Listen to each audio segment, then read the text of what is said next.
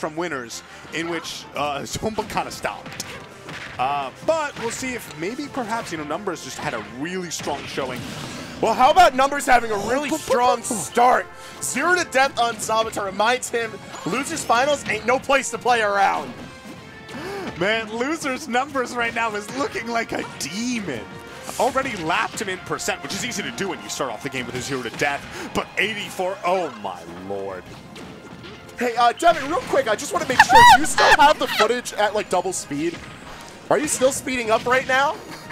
Or is that just numbers absolutely demanding that this game be his in record time?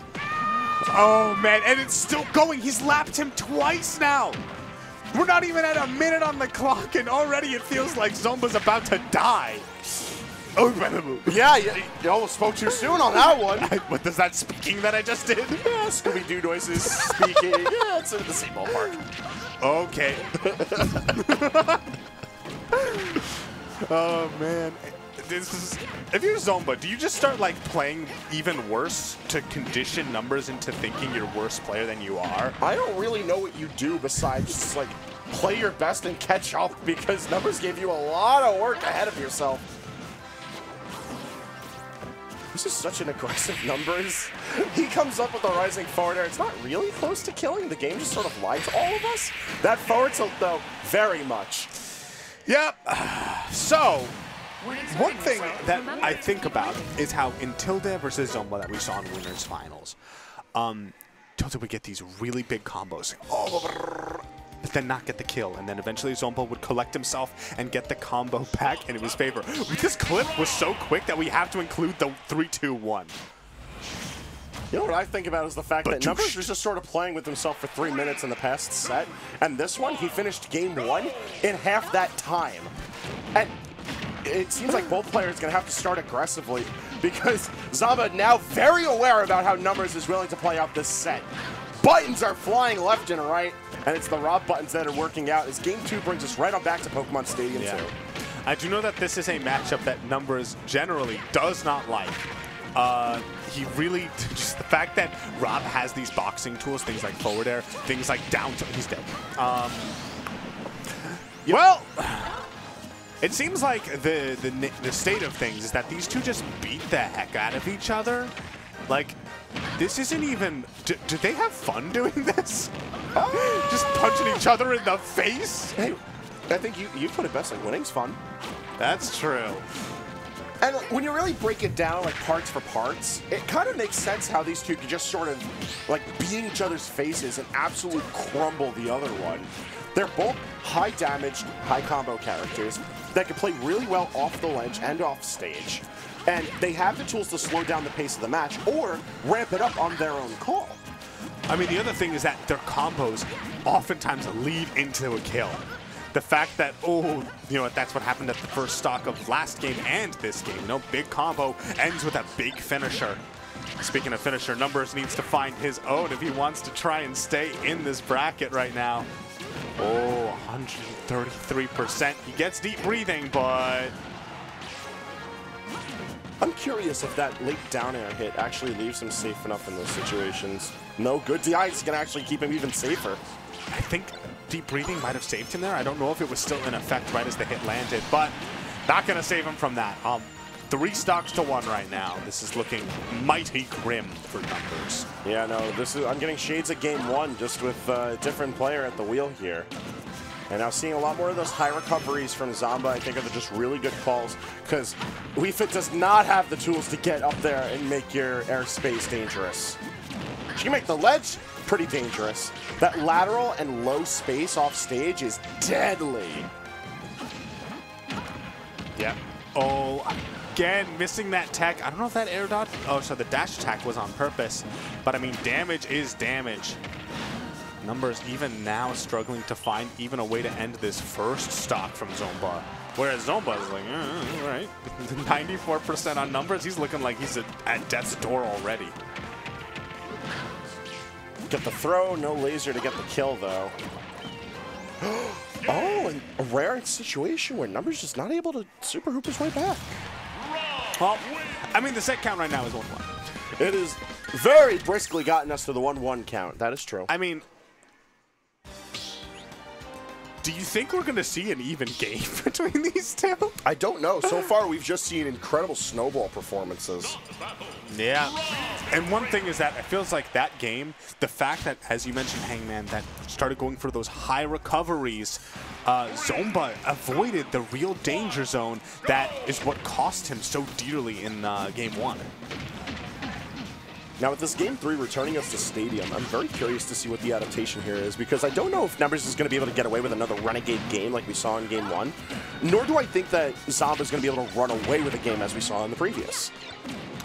Well, I feel like this is another thing about these players, you know, and these characters, is whoever has the lead, you know, stock lead specifically, can really just carry that. So these oh, next... Yeah, these two snowball really hard, and I think both of these players, just within this tournament alone, have been able to sufficiently prove that.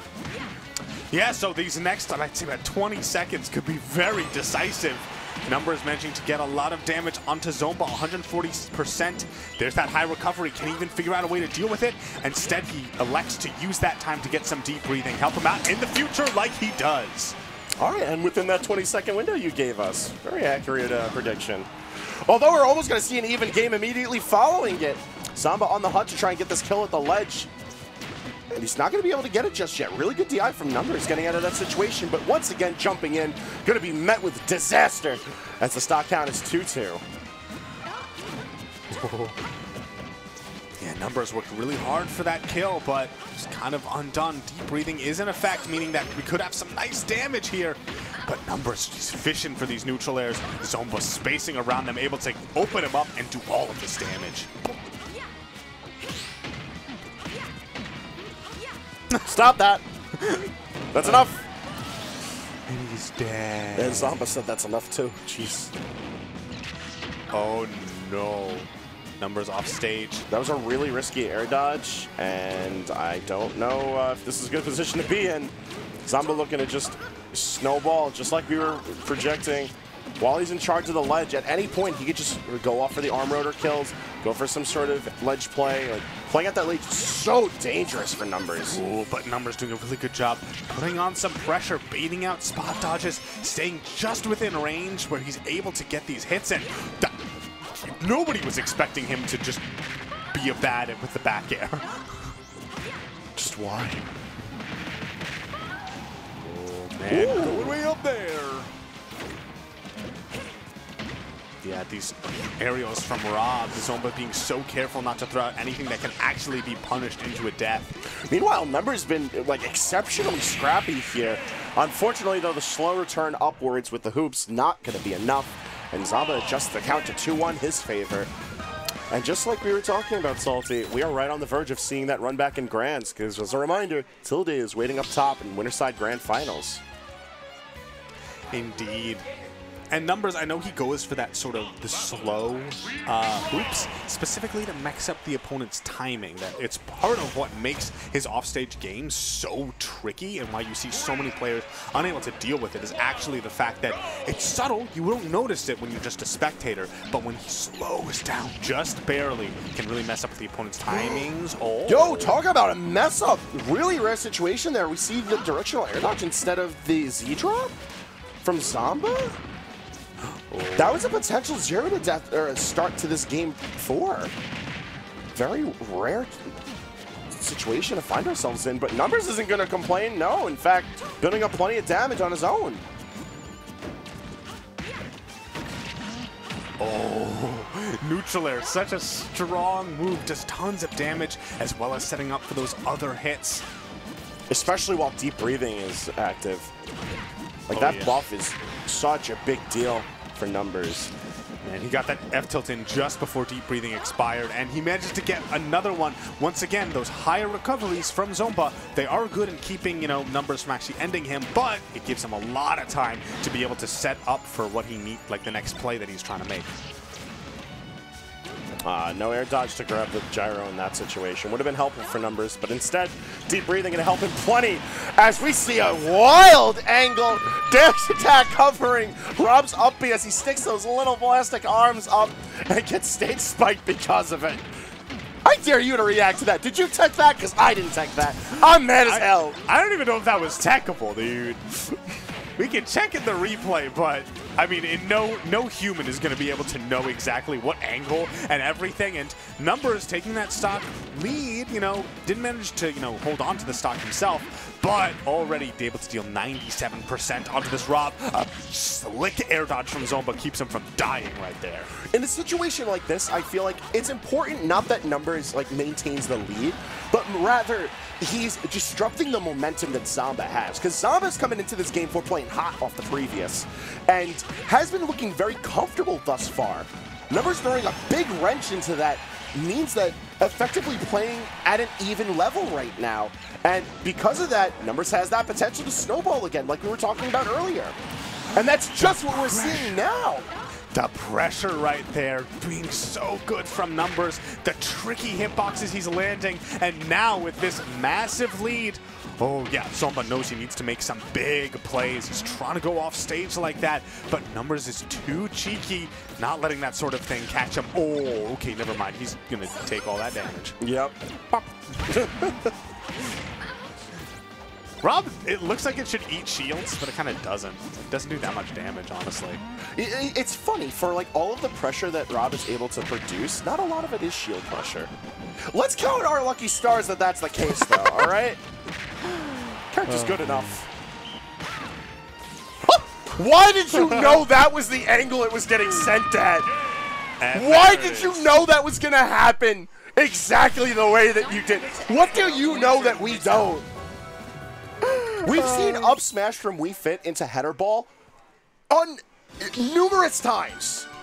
Not once do I think I've ever seen numbers do it with the intention of actually using the ball at that angle. Uh, I mean, listen, Numbers is the kind of guy. I remember this dude watching him lab max 99% Lucario, like max, absolute max Lucario, uh, with a bunch of like equipment and everything in the Smash 3DS training room. Like the guy is a lab monster and he knows exactly where everything is going. And let's see if that'll help him out as we move into this game three. Numbers managing to bring it to a game five so much better than in winners where like Zomba just kind of absolutely obliterated him. This Right? is far from obliteration. This set has been an absolute dissection of what makes both of these players fantastic. Because at both times they've looked like they're playing phenomenally, but it's been more or less trading the baton. Not an even battlefield, but rather Zomba playing great, no, Numbers playing great, then Zomba playing great, and Numbers bringing it right back into his court. But we're running out of games, Salty. We're in game five. This is losers finals. There's no further opportunities to prove yourself than here and now. Yeah, and Numbers definitely looking to prove himself by ending this stock. He has the Sun Salutation in the bag. Looking for an opportunity to do it. He needs, but he can't even get back down to the ground.